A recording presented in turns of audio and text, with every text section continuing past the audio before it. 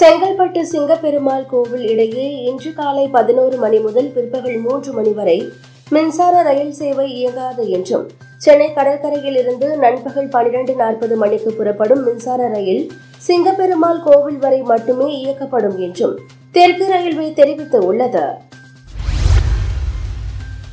அரசு கலை மற்றும் அறிவியல் கல்லூரி மாணவர் சேர்க்கைக்கு விண்ணப்பிப்பதற்கான கால அவகாசம் வருகிற இருபத்தி நான்காம் தேதி வரை நீட்டிக்கப்பட்டுள்ளது.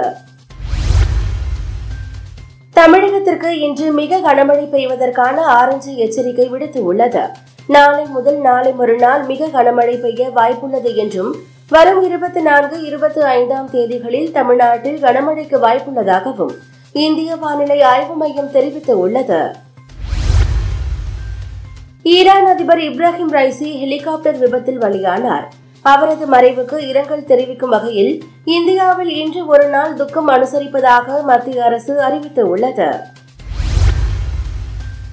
நேபாளத்தில் ஆளும் கட்சி உடைந்து பிரசந்தா தலைமையிலான ஆட்சி கவிழும் வாய்ப்பு நிலவியது.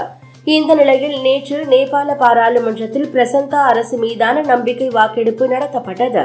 அப்போது ஒரு வாக்கு வித்தியாசத்தில் நேபாள பிரதமர் பிரசந்தா வெற்றி பெற்றார்.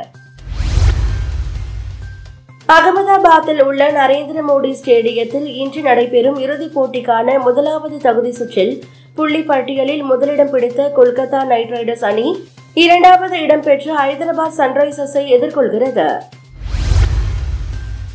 சென்னையில் இருபத்தி இரண்டு கேரட் ஆபரண தங்கத்தின் விலை சவரனுக்கு முன்னூற்று இருபது ரூபாய் குறைந்து ஐம்பத்தி நான்காயிரத்து எண்ணூற்று எண்பது ரூபாய்க்கு விற்பனை செய்யப்படுகிறது.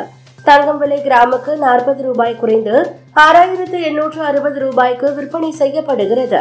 சென்னையில் ஒரு கிராம் வெள்ளியின் விலை இரண்டு ரூபாய் குறைந்து தொன்னூற்று ஒன்பது ரூபாய்க்கு விற்பனை செய்யப்படுகிறது.